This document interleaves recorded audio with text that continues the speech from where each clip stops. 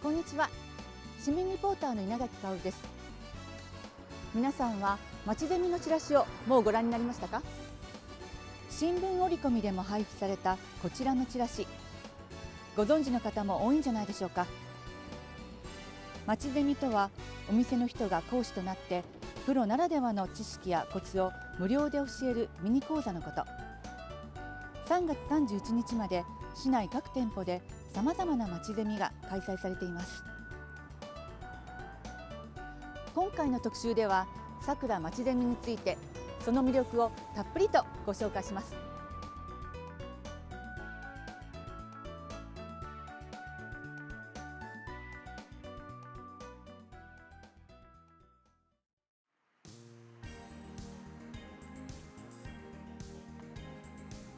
こちらは新町通りにあるデザイン事務所兼サロンの新町プラスプラス。この日行われたのはあなたのロゴ一緒に考えますの講座。グラフィックデザイナーの堀井さんがアドバイスをしながら参加者は自分だけのロゴを作ります。あの名前ですよね。あの自分の名前っていうのは自分だけのものなので、まあ、名前だと名字だったりあるいはニックネームとか。でそれをモチーフにするとこから入るのがやっぱり考えやすい。ででそこにえっ、とどんな人なんだ？僕はどんな人なんだよとか何が好きなんだよっていうようなことを何か絵柄でこう加えてあげる。と、えー、独自性のあるロゴになりやすいということですね。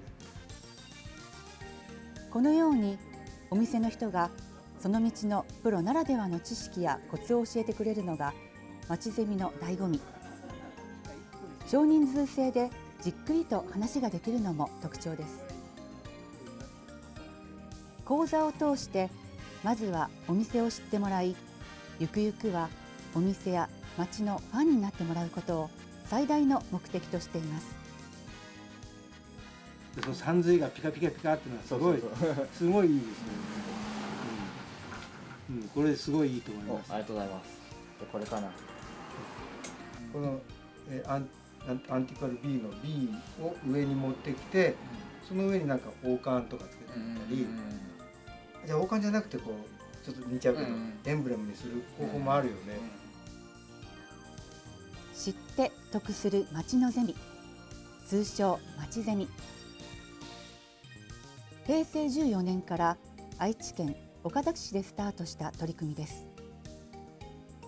岡崎市での成功をきっかけにまちゼミは全国へ広がりこれまでに300以上の地域で実施されてきました。今回ここさくらでも全国商店街支援センターの協力を得てさくら商工会議所とさくら市商店会連合会の共催で第1回目が開催されることになりました。お店と町のファン作り。さくらで開催されるまちゼミとはどのような内容なのでしょうか。今回は私が徹底的に調査をします。まず最初に向かったのはさくら商工会議所です。担当の田中さんにさくらで開催するまちゼミについて伺います。今回のさくらまちゼミでは17店舗が参加し3月の1ヶ月間にそれぞれのお店で1回から3回程度計50回以上もの講座が行われています。飲食物販サービス業などさまざまなジャンルの店舗で個性的な店主の方々が講座をご用意して皆様をお待ちしております。また町ゼミを実施するお店の方たちは全国商店街支援センターが派遣する講師の研修を全3回にわたり受講し町ゼミのノウハウを学習してきました。さくらを盛り上げるため熱心に活動するお店の皆さんが地域の方々のご参加をお待ちしております。3月の下旬に開催する講座もたくさんありますのでぜひご参加いただきまずはお店の人を知っていただければと思います。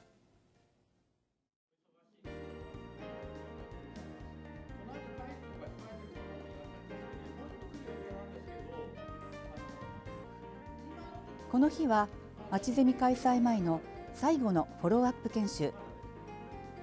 田中さんから今まで研修で学んできた内容の最終確認をしました。このようにまちゼミのノウハウを学び準備を重ねてきたお店の皆さん。この取り組みにかける思いは熱いものがあります。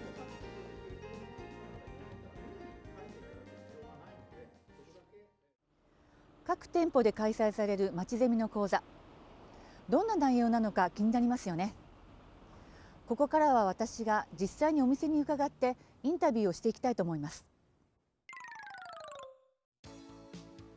まず私が向かったのは冠城町。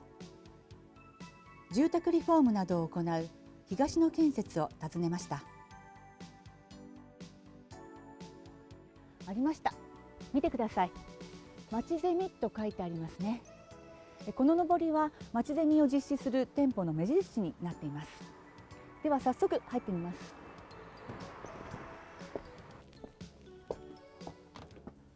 あ、こんにちは。あ、稲垣と申します。よろしくお願いします。お願いします。今回話を伺うのは代表取締役の千葉さんです。まちゼミでは普段の業務経験を生かして介護手すりの取り付け方を教える講座を開いてくれます。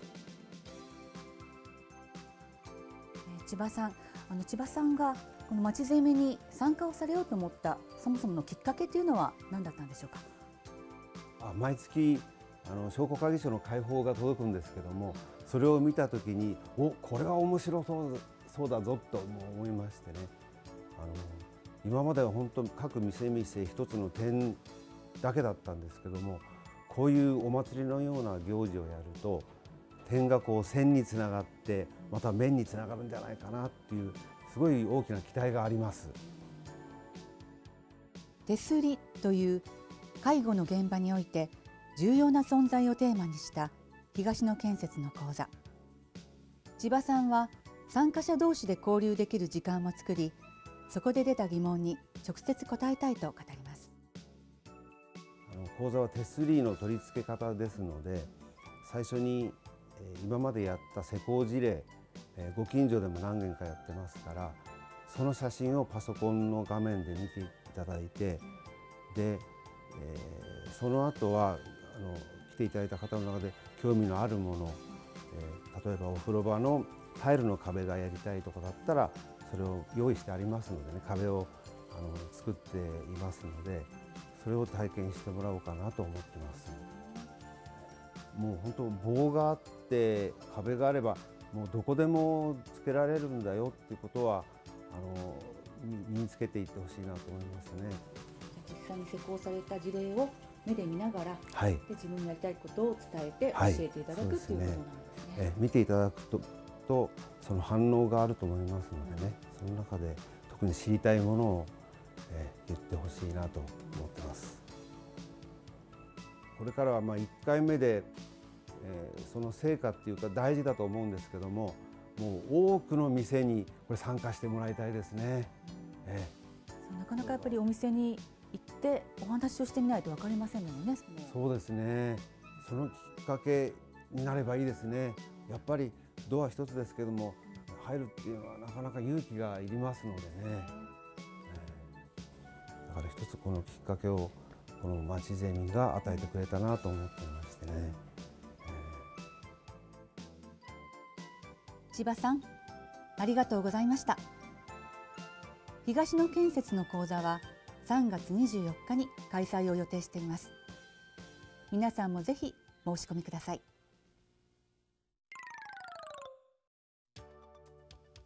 続いてやってきたのは江原にある車のボディ加工などを行うウッチーズガレージです。この場所で開催される講座はそっと教えちゃいます。事故車の見分け方。こちらでは代表取締役の山内さんにお話を伺いました。山内さんがさくらのまちゼミに参加されようと思ったきっかけというのを教えてください。かけですか、うん。えーそうですね、あのまあ、僕、商工会議所青年部という活動をずっとしててですね、えーまあ、会議所の方にもお世話になっているということで、えーまあ、何かボボディ屋さんとして何かあの力になれることってないないかなと、うん、思った次第ですね。はい。今やインターネットなどで気軽に購入できる中古車。講座の当日は山内さんが業界の裏話も交えながら中古車を買うときに損をしないコツを教えてくれます。皆さんが想像している修復歴ありませんというイメージが、えー実際はあのー業界の中では大きく違うんだよっていうところから話そうかなと思ってますけど、はい。まああのー修復歴なしっていうイメージだとどういうイメージ逆に？もう全くあの修理あのですよね。てないっていう。あのーまあ、ちょっとした傷とか使用感はあるにしても、うん。ぶつけたことがない車をイメージしますよね。うん。実はそんなことがなくて、えあのードアだとか、えーフェンダーボンネットだとか取り替えたぐらいでは修復歴にはならないんですよね。そうなんですか、うん、その辺があのーね走りに支障のない修理なのか、えーねいずれいずれ腐ってくる可能性のある修理なのかとか、そういった点ですね。はい。あのーまあ僕もこんなちっちゃいところで、えー一応15年やってるんですけど、えーまあこの桜のこの田舎町に、え本気でねその修理とか、えーリペアとかに向き合ってるおじさんがいいるんだよっていうことはまず分かってもらえたら嬉しいなと思いますね。またあの今回町ゼミに参加してる建築屋さんですとかねお肉屋さんですとかいっぱいいますけど、えー皆さんやっぱりちっちゃい商店の中で、あの夢を持ってね、あの本気で取り組んでいる方ばっかりなので、あのそういった部分もね大型店にないちっちゃい店の魅力みたいなものをね、えー分かってもらえたら嬉しいなと思います。はい、山内さん今日はありがとうございました、はい、ありがとうございました。ウッチーズガレージの今後の講座の予定は3月27日皆さんの申し込みをお待ちしています。インタビューいかがでしたか？お店の人の町ゼミにかける思いを伺うことができました。ここからはいよいよ本番町ゼミ当日の様子をご紹介します。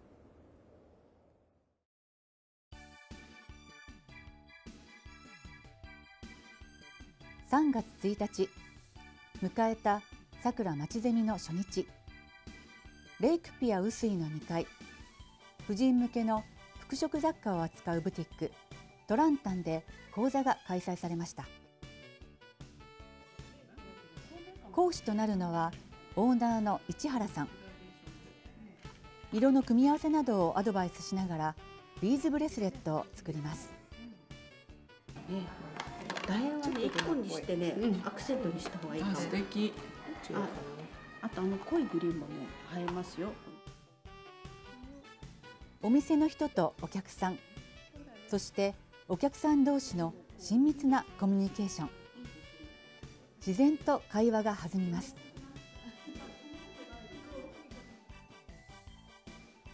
開始からおよそ30分。素敵なブレスレットが完成しました。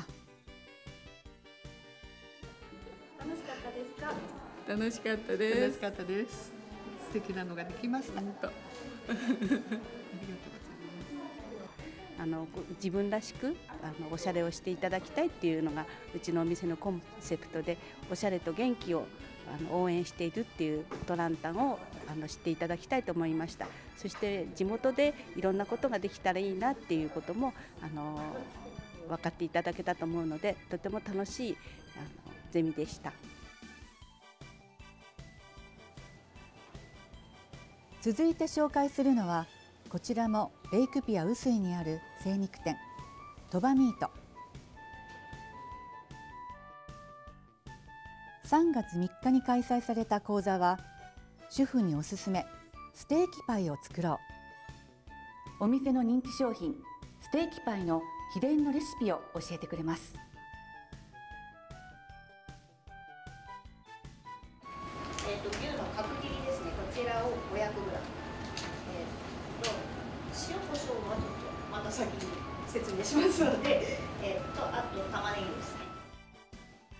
隠し味や美味しく作るためのコツなど詳しいところまで丁寧に解説されました。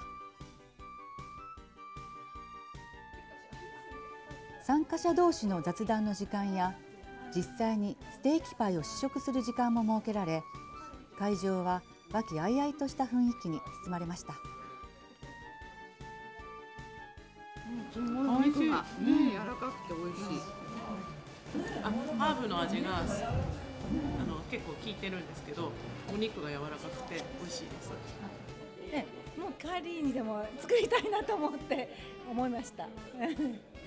今まで知らなかったもんですからでも今日社長さんお目にかかって、うん、これからちょこっと寄ってみようかなと思っています。はい。自分たちのやってるその仕事をですねあの十分こう教えるっていうか伝授するっていうかなんかその裏技っていうかそういったものをですね披露することがいろんな業種業態であの普通のお客様に知っていただくっていうのはもっと理解が深まるんじゃないかと思いますんであのこれはもっともっとこう何ていうんですかねあの盛り上がっていってほしいなというふうに私も思ってます。はいお店とお客さんそして町のつながりを深めるさくらまちゼミ。皆さんも参加してみませんか？興味のある方はまずはチラシをご覧ください。チラシは市のホームページでダウンロードできるほか市内公共施設やさくら商工会議所で配布しています。講座を決めたら事前にお店へ直接電話で申し込みください。当日の講座ではお店からの販売や勧誘は一切ありませんので安心してご参加ください。また今後開催を予定している講座はご覧の通りです。各講座は定員になり次第締め切らせていただきますので申し込みはお早めにお願いします。講座の詳細はチラシをご覧ください。